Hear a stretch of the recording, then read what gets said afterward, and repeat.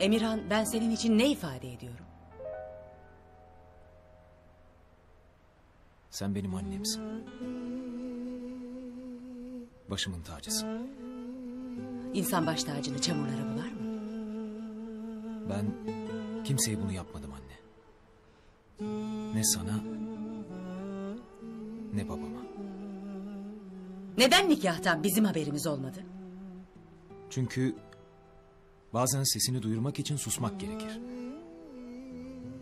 Siz kendi planlarınıza öyle dalmıştınız ki çığlık atsam bile beni duymayacaktınız. Ben de susmayı seçtim. Peki ya bizi içine düşürdüğün durum? Gelecekte bütün bu aileyi idare edebilecek kadar bana güveniyorsanız... ...bu durumun da üstesinden gelebileceğimi bilmelisiniz.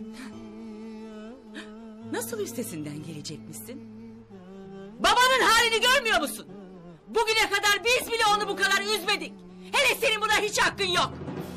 Anne, sen neler söylüyorsun? Hele senin ne demek? Ben, ben bu ailenin bir ferdi değil miyim?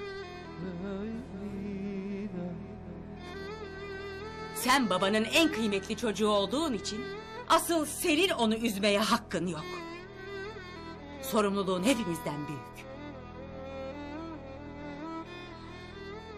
Söylemek istediğim buydu.